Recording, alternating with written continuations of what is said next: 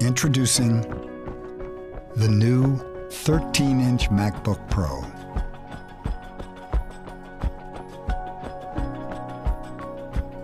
With the stunning Retina display.